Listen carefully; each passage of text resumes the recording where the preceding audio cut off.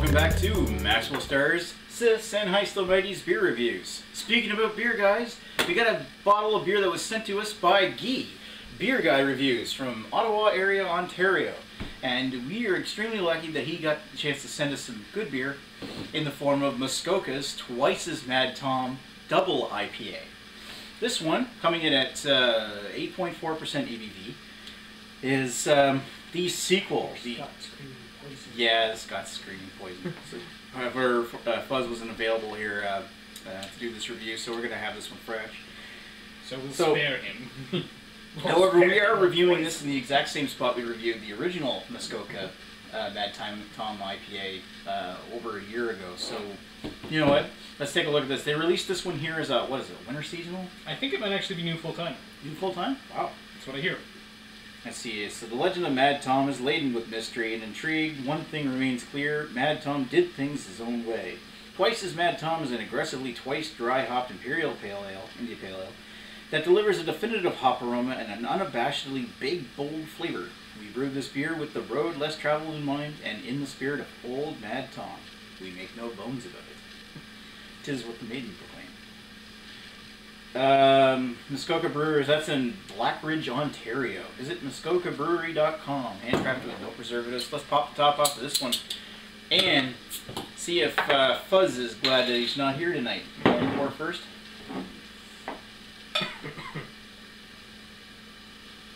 So a little bit, uh, a little bit Little darker than the hazy- last little IPA that hazy. yeah, but don't forget this is a double IPA. They're normally going to be a little Yeah. darker. Well, I suppose It's- in The last Pliny one the that I Elder, had. Pliny the Elder wasn't that dark. No, It's hazy, but not. I would say it's slightly filtered. It's it's definitely slightly filtered, but it, it's got some fog to it. Tan colored head, kind of almondy actually. yeah, a little bit like that. Um, orange body. Orange, slight haze to it. Mm, Slight haze to it, no dregs. And I got the very bottom of the bottle. Yep. Yeah, looks pretty pretty though. Um, yeah, orange amber. Let's give it a sniff. Ooh, very citrusy.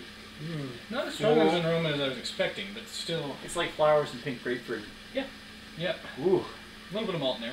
Lots of grapefruit. yeah, sweet caramel malt in the back. Oh, that's the, got the smell of a beautiful um, East Coast uh, double. That's that's really nice.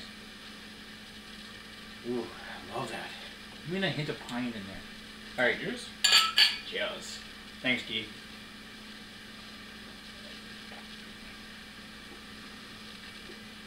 Ooh. And even the taste, the, the smell really carries into the taste even a little bit. And that's not always common. It's got this nice. Uh, it's a. It's it's almost borderline full body, somewhere between mid and full. The hops linger in there in the back, and they taste uh, like floral and citrusy. Yep.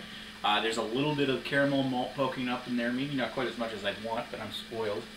Because I found I found the once's Mad Tom um, to be almost too candy sweet, and this thing is more aggressively hopped than Definitely. than the once, and the, the twice comes in hoppier, It's and I think it actually holds up to the sweetness better than than the Yeah. single did. Very much so. Yes, I will. Agree I would with say that this actually is, is better balanced, strangely, than the than the single version of this. Mm.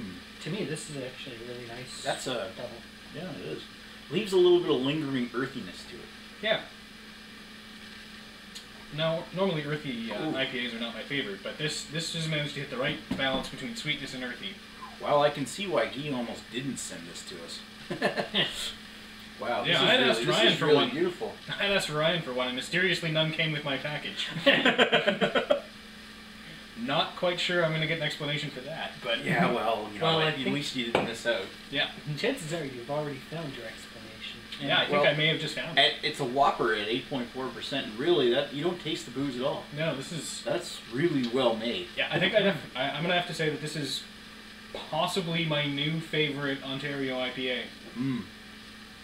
I gotta say, that's one of the best Canadian IPA, double IPAs I've ever had. That's really, really good.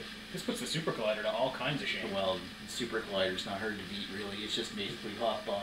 But even compared to, we had a chance, I haven't reviewed it, but we had a chance to try Screaming Beaver from Beau's, and I think this one even gives it a run. Yeah, I'd say that. Um, yeah, this is probably going to put the Screaming Beaver in the basement down to shame. Yeah, definitely, and I, I hope the Muskoka expands their lineup because that's an excellent double IPA.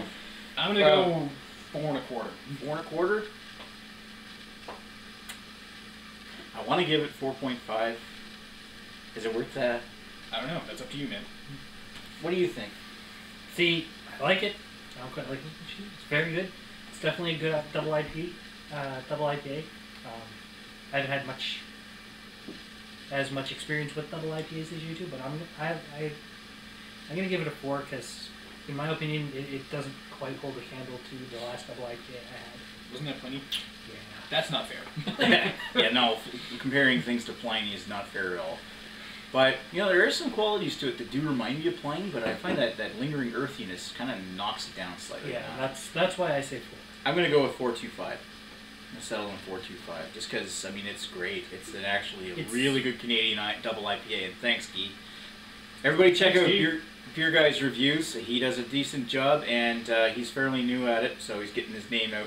Do recommend you you hunt over down the link below, and uh, you know check out his channel because he's he's really good and gets a lot more stuff than we do because uh, he lives so close to Brouhaha.